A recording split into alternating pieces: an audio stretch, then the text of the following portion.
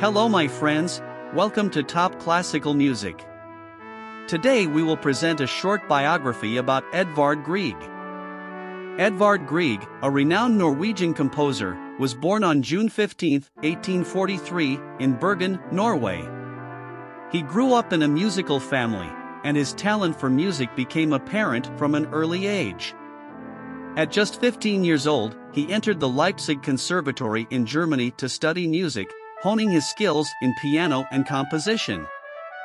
During his time in Leipzig, Grieg was exposed to a variety of musical influences, including the works of Robert Schumann and Franz Liszt. However, he always maintained a strong connection to his Norwegian roots, drawing inspiration from the rugged landscapes and folk traditions of his homeland. Grieg's music is often described as having a distinctly Norwegian character, incorporating elements of folk melodies and dance rhythms into his compositions.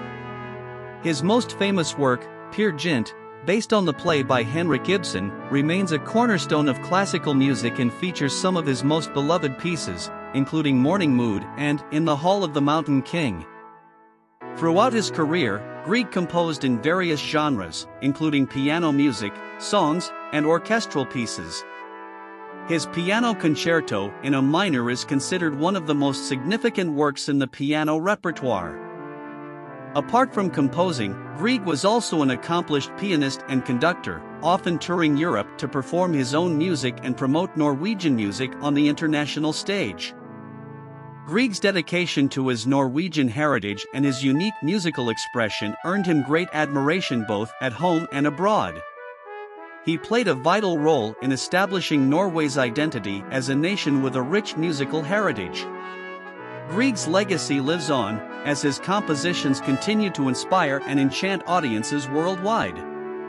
He passed away on September 4, 1907, in Bergen, leaving behind a remarkable body of work that remains cherished in the world of classical music.